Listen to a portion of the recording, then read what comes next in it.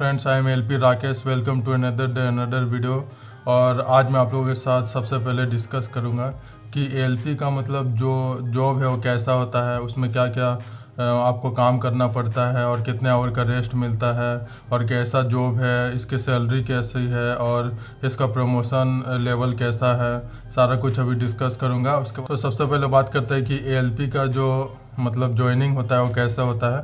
तो एलपी का आपको पता है कि तीन स्टेज में एग्ज़ाम होते हैं। L P C B T one C B T two और सी बी टी टू में पार्ट ए पार्ट बी जिसको पार्ट बी में कंपलसरी है कि आपको thirty two percentage of marks लाना ही है, तभी आप उसमें क्वालिफाइड कर पाएँगे, जिसको टेक्निकल सेक्शन भी बोला जाता है। उसके बाद आपका साइको एग्ज़ाम होता है। साइको के बाद मेडिकल होता है। मेडिकल के बाद आपका ट्रेनिंग होता है टू मंथ की। उसके बाद वन मंथ की ट्रैफ़िक ट्रेनिंग होती है। तो उसके बाद आपको फाइनल पोस्टिंग दिया जाता है लोबी में जो कि हर डिवीज़न में अलग अलग लोबी बनी रहती है। जैसे कि दिल्ली में मैं था तो वहाँ पे टोटल 12-15 लोबी थी। तो वहाँ पे आपको कहीं भी पोस्टिंग मिल सकता है और उसको क्रू चेंजिंग पॉइंट भी बोला जाता है।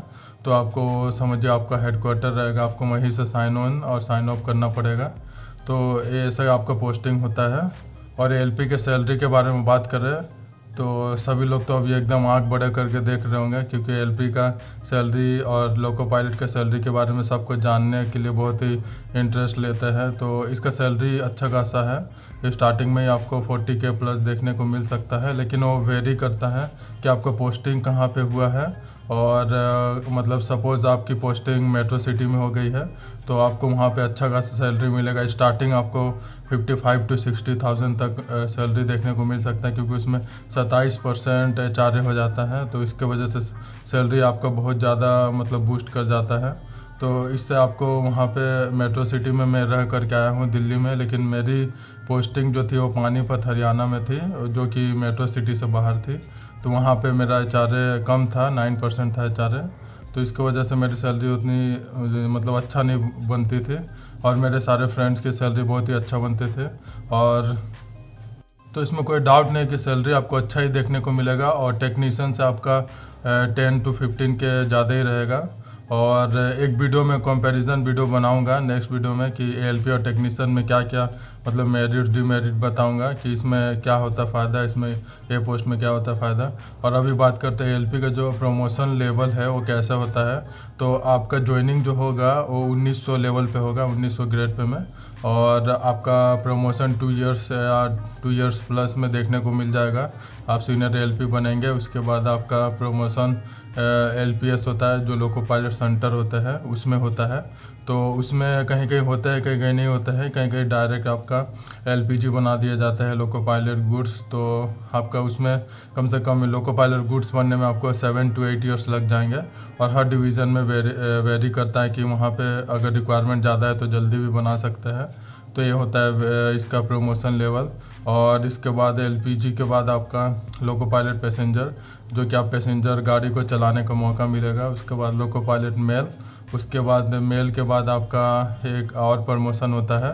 उसमें आप L I loco pilot inspector बन सकते हैं और अगर आप एलपीजी है और आपका सर्विस अगर फाइव इयर्स प्लस हो चुका है तो आप उसमें एलिजिबल है उस एग्ज़ाम के लिए तो आप लोको पायलट इंस्पेक्टर भी बन सकते हैं। उसके बाद आपका सीएलआई होता है, फिर आप ऑफिसर लेवल तक भी जा सकते हैं एग्ज़ाम दे करके ए e बन सकते हैं।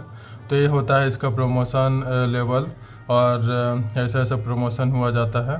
तो एल का जॉब में आपका मेनली काम क्या रहता है? तो एलपी का जॉब में आपको मेनली सबसे पहले आप साइन ऑन करके और जो भी आपको लोगों का चार्ज दिया जाएगा, उसको आपको पूरा एक एक पार्ट्स चेक करना है और अच्छे से चेक करना है कि कहीं कुछ प्रॉब्लम है तो उसको एक लोगों की लॉग बुक होती है, उसमें लिखना रहता है कि ये प्रॉब्लम मुझे दिखा, दिख गया है तो उसको लिख देना रहता है और T L C traction loco controller उसको भी बताना पड़ता है कि लोगों में प्रॉब्लम है। अगर वो बोलते हैं कि लोगों कैपेबल है, आगे जाने के लिए तो हम लोग उस लोगों को लेकर के जाते हैं।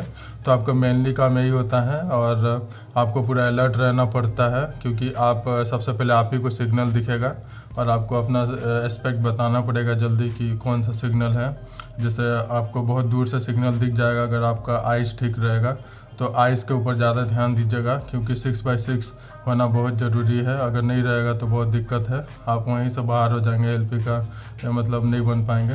एलपी को कितना छुट्टी मिलता है? तो एलपी को टोटल दस सी मिलती है ईयरली और पंद्रह पंद्रह एलएपी मिलती है और एलएचएपी भी होती है जो कि आपका सिक होने से वो यूज़ हुआ जाता है।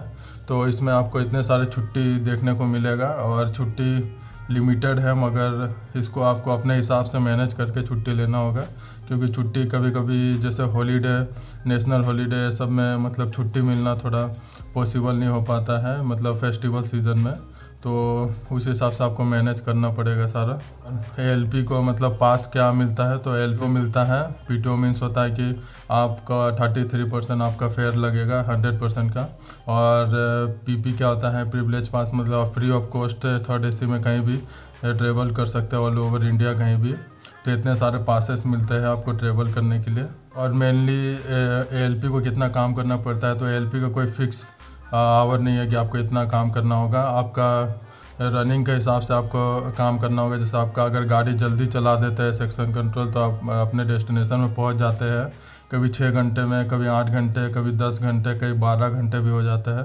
तो उस हिसाब से आपको अपने काम के ऊपर मतलब आपको काम करना होगा। और अगर आपका दस घंटा हो गया तो आप मेमो दे सकते हैं। आपको रिलीफ मिल जाएगा।